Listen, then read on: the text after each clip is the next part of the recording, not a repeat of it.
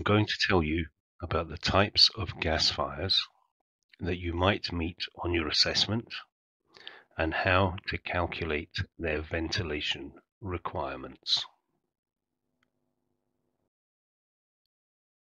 Remember that with ventilation requirements for any device that you should refer to the MIs if you've got them handy.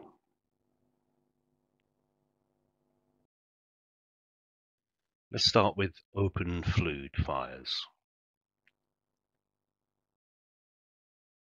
Open flued appliances do not need any ventilation if they are under 7 kilowatts.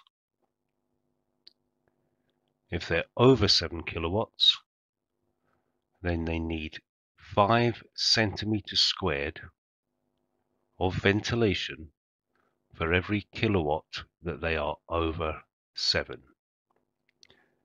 And remember that open flued appliances take their air from the room that they're sitting in and get rid of the combustion gases to an outside source, usually via a flue.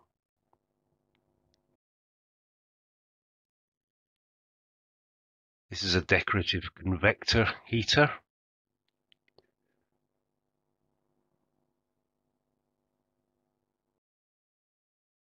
An inset live fuel effect fire, also called an ILFE.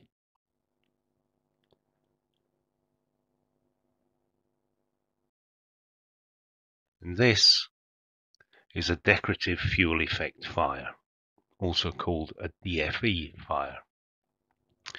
Now these are the exception to the ventilation rule. They require a minimum of 100 centimeters squared of ventilation. If they're over 20 kilowatts, they require a ventilation in excess of 50% of the throat area of the flue. So you would have to measure the throat area of the flue, divide that in half, and then give them ventilation over that number. You won't be required to do that in your assessment. I'm just including that as a guide if you ever come across a very large decorative fuel effect fire.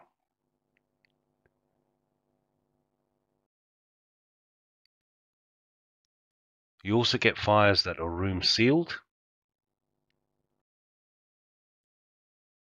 And for room sealed appliances, you don't require any ventilation at all.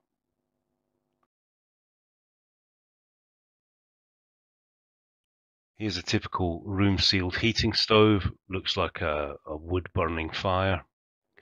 But with all room sealed appliances, the air is taken from outside of the room and the products of combustion go back outside the room.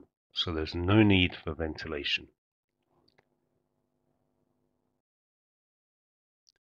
Here's a room sealed convector heater. They usually hang on the wall, but again, no ventilation required.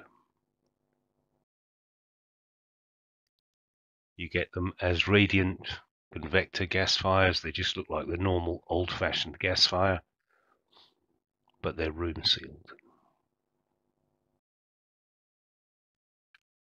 Flueless appliances.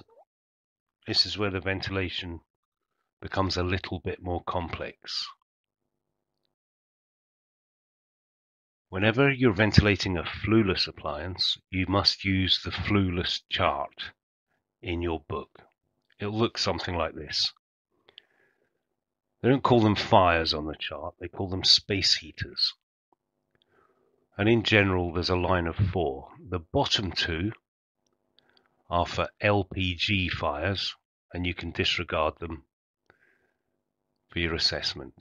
But the top two, you will be expected to be able to work out the ventilation. In a couple of slides, I'll show you exactly how to work that out.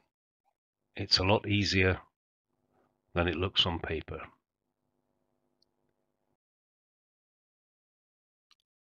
Big difference, however, is that mm. there's different ventilation requirements between a room and a living space. A room is somewhere where you spend time. A living room, a kitchen, something like that. A living space is somewhere that you pass through, like a hallway or a utility room. If you put a fire in either of those two places, they have different ventilation requirements from each other. It shows you on the chart exactly what you meant to do.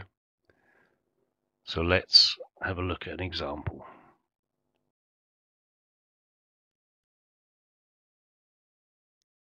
The chart tells you that you must give one of these fires 100 centimeters squared to start with. That's a given. And then, and this calculation's for a room, you've got to give it 55 centimeters squared of ventilation for every kilowatt over 2.7 net. So, if you had a flueless fire that was 5.7 kilowatts net, the way to work that out would be your 100 centimeters that you've got to give it,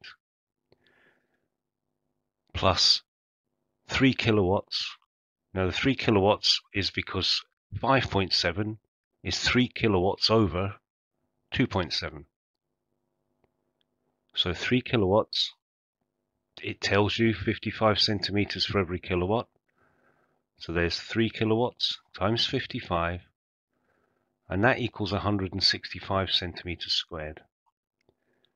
When you add the 100 centimeters to that, you get 265 centimeters squared. That's how you work out the calculation for a flueless gas fire in a room. You do exactly the same in a living space, but the numbers are just slightly different.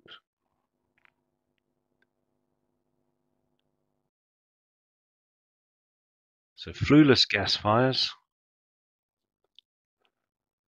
bring air from the room and they expend the products of combustion back into the room.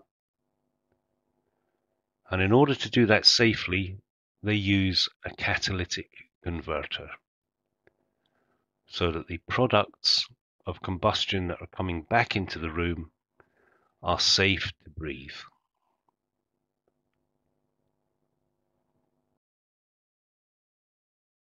Here's another example of a fixed flueless convector. You won't come across many of these. Normally, they are LPG heaters, but you may occasionally come across one that's uh, linked up to the gas pipelines.